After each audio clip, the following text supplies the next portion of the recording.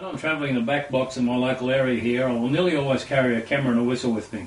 You never know when you come across a really nice little gully. On this particular day, while whistling off the side of the road, I whistled up a massive big tabby cat. To my surprise, as he moved in closer, I noticed he was covered in spots. I think he wanted to revert back to the leopard era.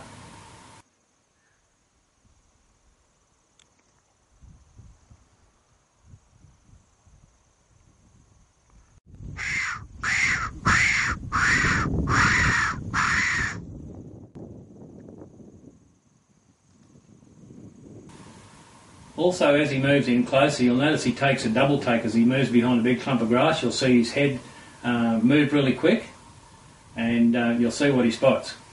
At that stage, he decided to vacate the area. He bolted.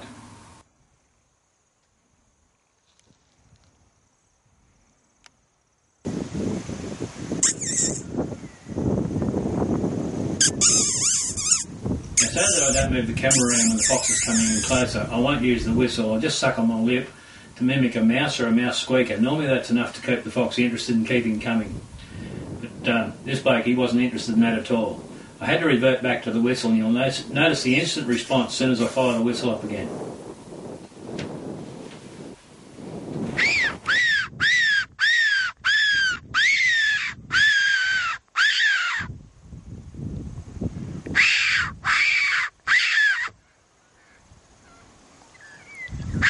Whew.